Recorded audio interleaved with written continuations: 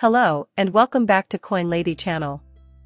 I've been a part of the XRP community and an XRP holder since November of 2017. Throughout that time, I've never seen an exchange act like this before.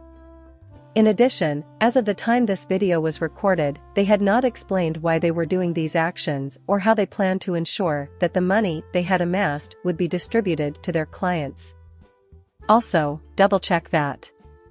Read today's crypto basic news story here. Over 85,000 XRP wallets were deleted by Poloniex, and a new wallet was created with 1.5 million XRP. Poloniex is a significant cryptocurrency exchange, and that's what we're discussing here. I'm guessing most of you have heard of it. I've never used them, but apparently they recently cancelled a large number of XRP accounts and, for reasons I'll explain, amassed 1.5 million XRP in a single wallet. Furthermore, I am extremely skeptical of the legitimacy of their actions. Indeed, I do. But I do want to clarify something before we go any further. I come from a completely monetary background free background. Nothing I say or write should be taken as recommendations to purchase or sell any security. Just a hobbyist here that occasionally posts films to YouTube on various crypto-related topics. Okay, well, have a look at this. Over 85,000 XRP wallet accounts have been cancelled by Poloniex in its account termination spree. Over the course of four days, Poloniex removed over 85,000 XRP ledger addresses, raising alarm among community members. Several members of the XRP community have been impacted by the latest exercise, which has resulted in Poloniex acquiring 1.55 million XRP from the accounts cancelled and burning 171,000 plus XRP. One of the people impacted by the change is Eddie, a key figure in the XRP community. In light of a recent deletion that negatively impacted her finances, the popular YouTuber resorted to Twitter to express her concerns. The relevant tweet is currently shown on your screen. She did mention Poloniex in her post and it reads as follows. When asked, she simply penned the word question Poloniex on June 15, you moved some of my XRP from a reserve wallet I created in 2017 to your new wallet. On June 14, your purse strings grew. They've added 1.5 million XRP to that. Can you actually do that? Please correct me if I'm incorrect. Because, as you probably well know, most crypto media was created by a group of C students, it contains numerous inaccuracies. In order to provide you with actual facts, I ran a quick Google search to locate relevant web pages. But when I first started using XRP in 2017, a minimum deposit of 20 XRP was required to open a new address or wallet. This reserve requirement has since been removed. At the rate the XRP ledger was going, you'd never be able to get rid of those 20 XRP. It couldn't move from that spot. We didn't want someone to be able to spam the XRP ledger without incurring any costs, which is one of several reasons why this was done. To begin using the XRP ledger, simply publish some information. That's basically the reasoning behind it. It's similar to how a small amount of XRP is burned each time a transaction is made in order to deter distributed denial of service, DDoS, attacks. So it's. I'm not denying the existence of such features, nevertheless, the reserve amount was 20 XRP in 2017 when I first became involved in the cryptocurrency market, and has been unchanged since then. The agreement stopped there. Accounts also could not be removed at that time. At the time, removing accounts was an impossibility. Things have altered significantly in the last few years. After validators cast their ballots, a new amendment was enacted, allowing for the immediate deletion of user accounts. The original reserve amount of 20 XRP has been reduced to 10 XRP. This is the XRP org website, where the following was published. In the course of, uh, the. The date is September 21, 2021, by the way. Thus, roughly two years ago. Indeed, they put pen to paper as the price of XRP has steadily risen over the past year. Many in the XRP ledger community have called for a reduction in the network's reserve requirements. A majority of validators agreed that the revised reserve values should take effect on September 19, 2021, and so they did. Prior reserve levels of 20 XRP base for an account and 5 XRP per object owned in the ledger have been reduced to 10 XRP base and 2 XRP per object, respectively.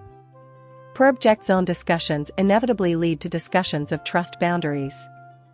And it's clear that due to the inherent character of the blockchain record of XRP, tokenization is possible, although it's not that useful. The 10 XRP now required to open an account is far more important than the original 20 that were required. The following is also mentioned by them. As a result, this has a beneficial effect. This prompted them to pen the following. Reserved XRP has been released and can be spent. Accounts having a minimum balance of 20 XRP can now withdraw the extra 10 XRP because the base reserve requirement has dropped from 20 to 10. As a result, space opened up. Let's pretend you left $20 in an abandoned account, knowing that the sum will remain there indefinitely. That, however, is no longer the case, thanks to this revision. That implies you can retrieve the 10 XRP from the account where you originally deposited them. But there's more, as I mentioned before, you can now permanently close your XRP account. As a result of one of my quick Google searches, I present the following webpage. Earlier than I started filming this, actually.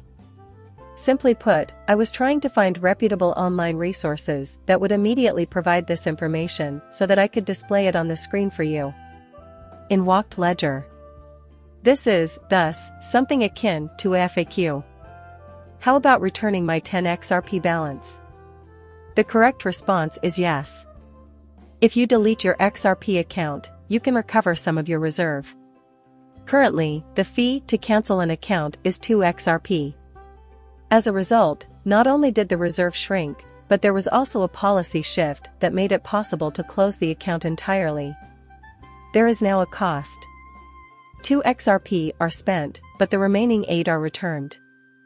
That's at least a little. So, you had this piece of crypto writing sent your way, and while I appreciate the crypto basics, they messed up here.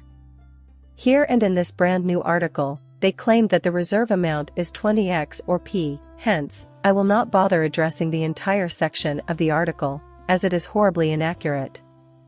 And I wanted to correct some misinformation about that.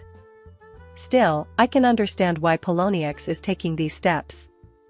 There it is, all the XRP that couldn't leave the reserve. It doesn't matter if there were only 10 XRP in each of those accounts, you'd be stuck with them until you deleted the account, at which point you'd gain access to all of the XRP that had been imprisoned in them. Now you see why Poloniex took this action. In order for them to get all of this XRP.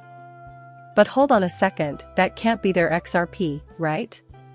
Customers didn't buy XRP from them, did they? I don't know what the legal ramifications of not providing information to customers are, or if there are any caveats that would allow them to avoid doing so, but I hope they do. So, allow me to descend a little more. So, let's get started. The current account cancellation spree was originally noticed by Thomas Silkjær, head of analytics and compliance at the XRP Foundation. After four days, on June 18, Silkjær confirmed that all 85,566 accounts had been removed. And look at his tweets right here, he added. Poloniex verify that users exchange accounts will get the recouped cash following account deletion. A tiny happy face is inserted at the end. It appears to be over, he says. 85.566 out of 1,553,159 accounts were removed. Took back 171,132. XRP was destroyed. This time, 2 XRP are needed to permanently remove an account.